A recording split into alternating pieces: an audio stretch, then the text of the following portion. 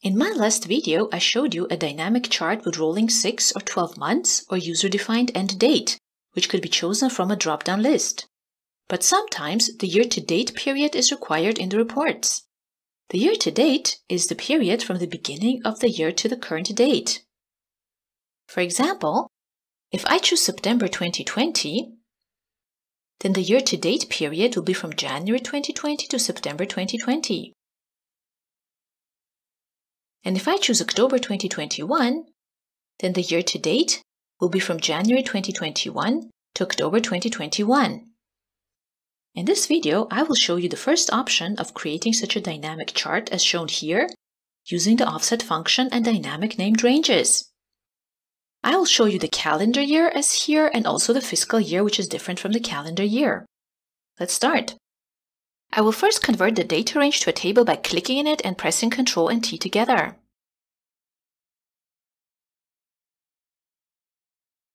Choose a simpler design.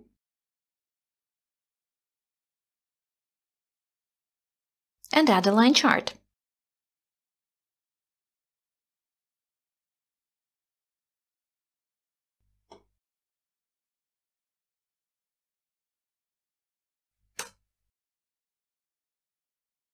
For the first option, I will put the formula together using the offset function. The offset function returns a range that is a specific number of rows and columns away from a certain cell. It can either return a cell or a range of cells. As I showed you in my last video, I'm going to type a formula now that will return an array, and I will use this formula in the dynamic named ranges, which in turn will be used for the chart. Let's assume that we're looking at the calendar year. This means that the year is going to start in January. So the year to date is the period from January to the current month. To get this period, I will type offset, and the starting point will be cell A1. I need to go down the rows. To determine the number of rows, I will use the function count. Column A This function does not count text, that's why the header will not be counted. Because I need the sales in thousands, I need to go one column to the right, so 1. And the number of cells that I need in that column, so the height, will be determined by the month of the current period. For example, the month of August 2021 is number 8. Minus, because I will be going upwards, or back. Month of last period, which will be determined by the offset function again. Offset, again starting point A1. Count for the number of rows.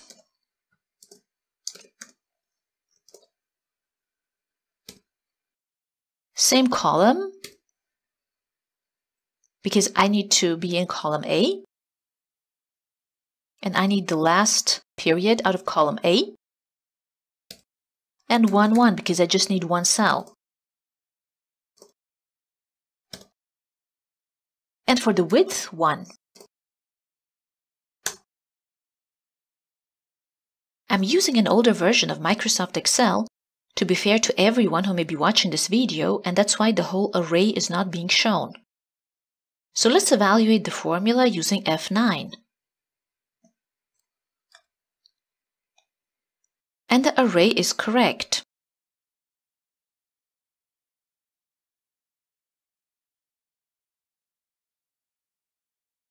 Let's copy the formula. Please note that I used absolute cell references in the formula fixed with a dollar sign. This is necessary because I'll be using this formula in the named ranges. I will need two named ranges one for the values and one for the axis labels. So under formulas, I'll go to define name and type year-to-date values, and I'll paste the formula here.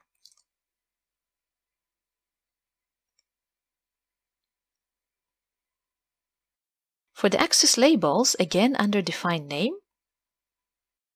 I will type year-to-date labels.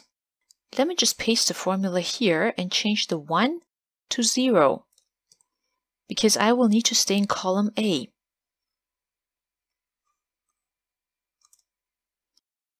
And now I'll paste the formula here.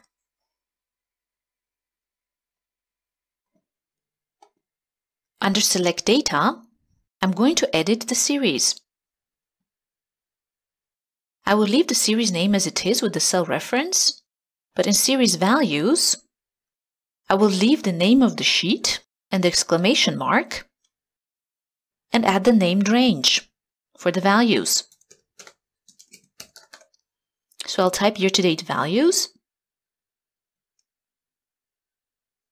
and I will edit the axis labels. Again, I will leave the name of the sheet and exclamation mark and type year-to-date labels.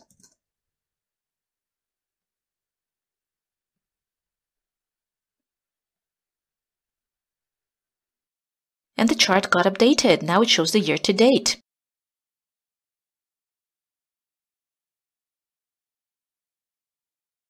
Let's add September 2021 to the table. And the chart gets updated to include this month.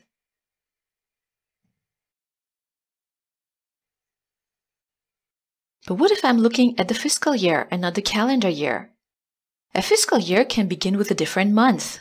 For example, it can begin in April. So if April 2021 is the first month of the fiscal year, then to get the sales from September 2021 to April 2021, I need to go back by the number of months of September and come down by three months so that April 2021 becomes the first month of the fiscal year. Also, the months January, February, and March belong to the previous year. And I need to go back by their month number and by 12 minus 3 to get to April 2020.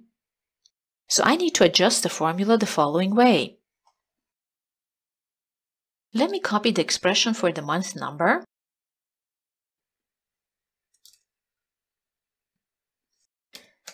if the month number is more than or equal to 4, so starting from April,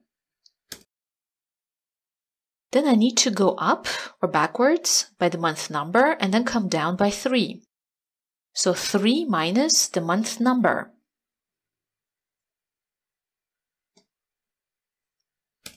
Else, so for months January, February, and March, I need to go back by the month number and 12 minus 3 months. So minus 9 minus the month number.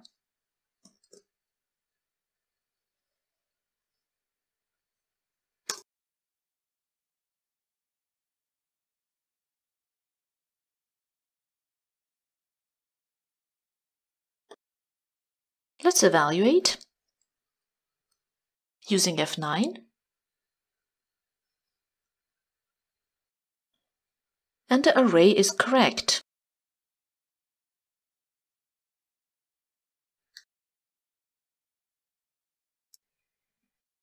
Let's copy the formula.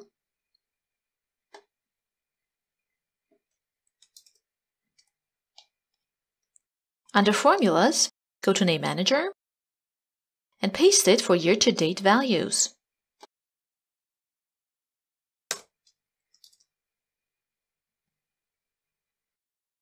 For year-to-date labels, I can use the offset function. Offset, year-to-date values, 0 for rows, and minus 1 for columns because I need column A.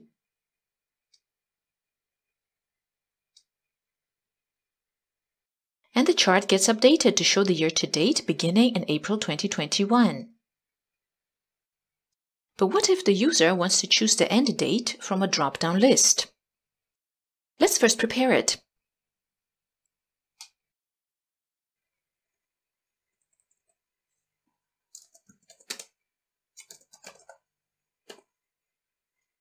Under Data, I will go to Data Validation choose List, and as a source, I will choose A2 to A22.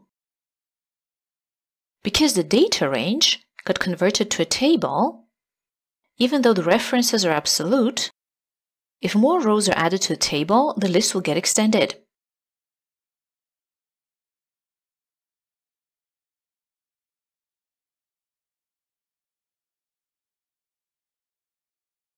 Let's apply the Format Painter. And the list is done. I will change the formula and type offset. The starting point will again be cell A1. The rows will be determined using the match function, which will locate the choice of the user, which is in the cell F17. And I will subtract 1 from it because I have a header.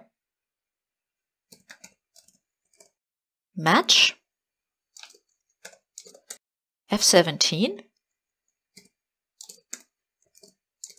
in column A exact match. And minus 1. 1 for columns because I need to be in column B. Minus because I'll be going backwards, and the number of cells that I will need will be determined by the minimum or lesser value of the month number of the user's choice and the position of this month in column A minus 1.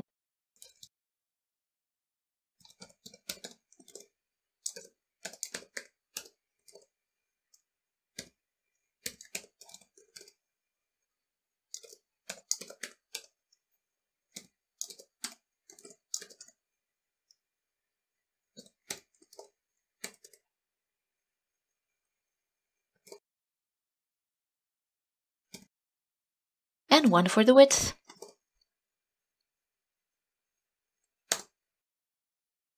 This formula is for the calendar year, and the expression under the min function is a troubleshooting measure if the table does not begin with January but with a later month. Let's evaluate the formula with F9, and the array is correct.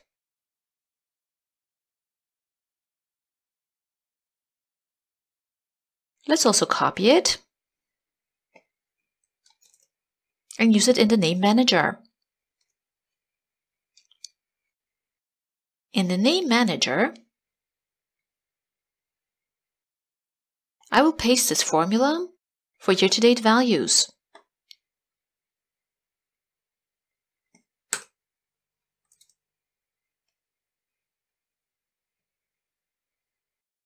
And the labels will get updated automatically because I use the offset function with year-to-date values.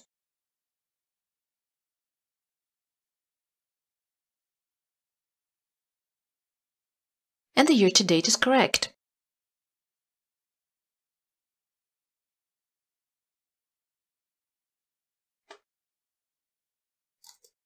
Let's add October to the table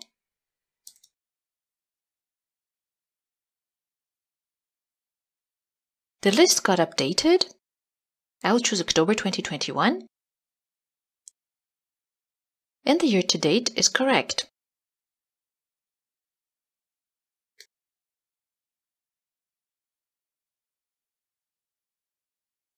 But what if we're looking at the fiscal year? Let's assume that the fiscal year begins in April. In that case, I'll have to change the formula the following way. I'll have to add a condition. So I'll type if the number of the month in F17 is more than or equal to 4, so starting from April, then the number of the month in F17 minus 3. Else, the number of the month in F17 plus 9, so 12 minus 3.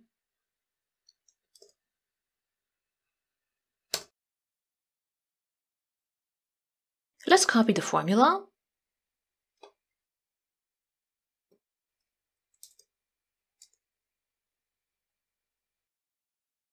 Go to the name manager and paste it under year-to-date values.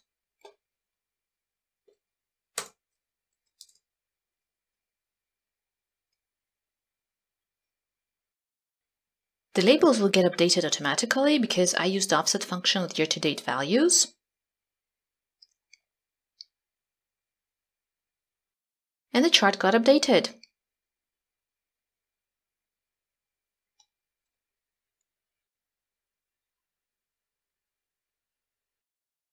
The expression under the min function is again for troubleshooting.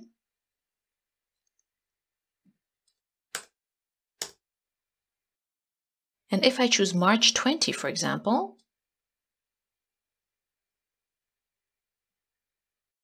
even though I don't have a full year to date, still three months will be shown. Let's choose August 20.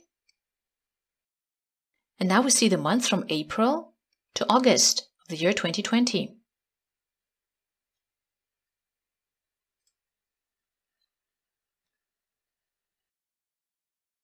Let's choose October. And now we see the month from April to October 2021. Please like and subscribe for more practical spreadsheet solutions.